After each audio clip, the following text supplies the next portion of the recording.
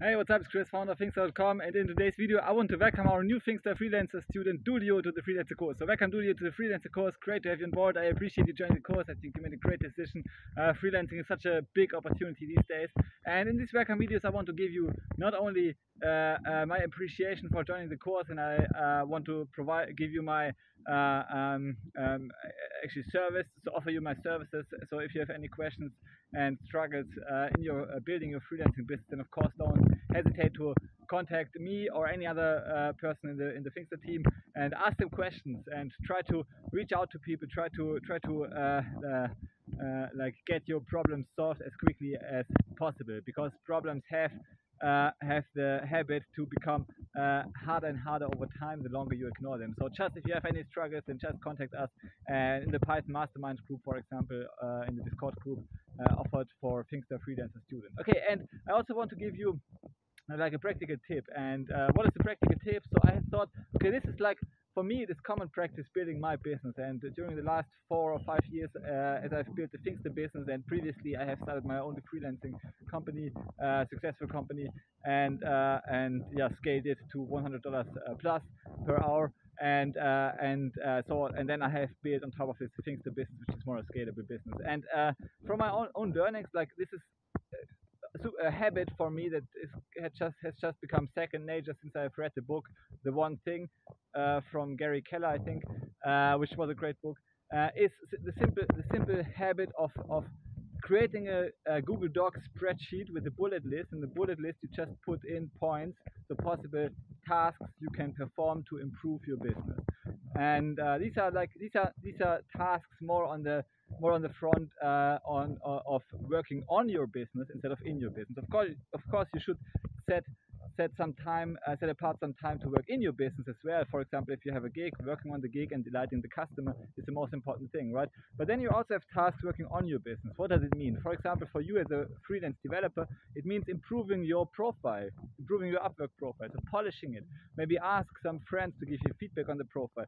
Ask people like me or people like uh, like your course uh, uh, students, your fellow course students, to give you feedback on the profile, or uh, offer certain type of gigs on the project catalog on Upwork or on Fiverr, like offer new type of gigs, uh, develop new uh, offerings for future clients, and or communicate with clients, ask clients about their struggles in order to for you to build more fine-grained offerings that will be attractive for clients, or try to automa automate some tasks, some repeat routines in your business. So now if you automate those things, you have you don't have to work in your business so hard, uh, but you can like if, by solving the task once, for example, writing a script for a re repeat action, like contacting some clients.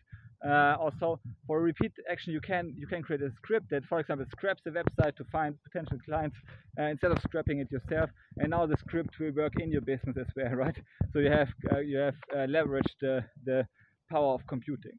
Um, yeah, and just like every day, try to come up with one idea to work in your business and uh, to uh, to yeah do, not only to work in your business but to work on your business as well to improve your business offering.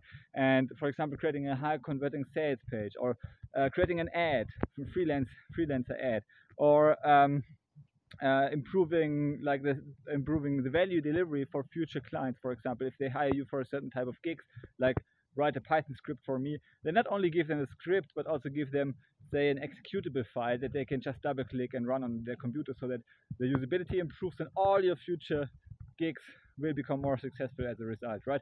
So work like, like try to come up with one idea per day. It's very simple. Like it can be a two minute brainstorming session per day. Put it on this on the sheet, and then every day you pull out this sheet and like uh, you do a, actually a pri priority insert when, when creating a new idea. So you insert it uh, like the top idea is a is an idea that is uh, that is actually simple to implement and has high uh, has high leverage uh, as a result. So if you implement the idea once, for example, it will generate you uh, income or generate make make the life easier for your clients for years to come, right? So this would be like you just do the priority insert on this on this idea list, and then every day you work on the top idea. And you work on the top idea like it doesn't mean that you ha you have to finish one idea per day. It just works. Uh, it just means that every day you work on your top idea until this top idea is done, and you can cross it off your list, and then you just take it from the from the list and you work on the second idea and so on. So it's just set apart, say an hour a day or a half an hour a day or how much you can spend to just have these working on your business tasks on this this prior, priority queue.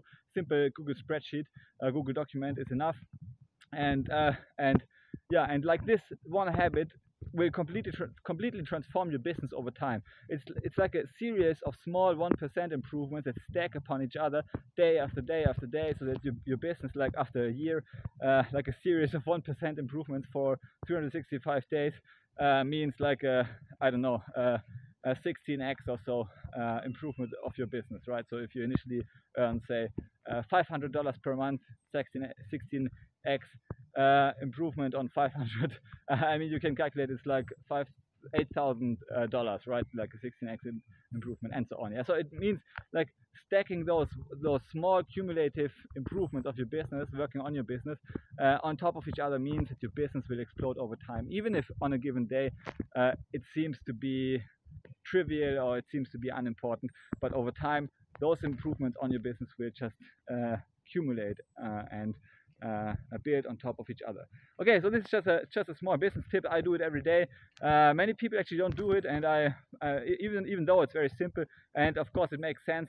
Uh, if you read the one thing, you know also know that why it works because of focus, the power of focus, focusing on one domino uh, um, uh, stone at a time, and then like leveraging all your momentum from previous improvements to to to uh, create or to finish the next improvement in your business and so on.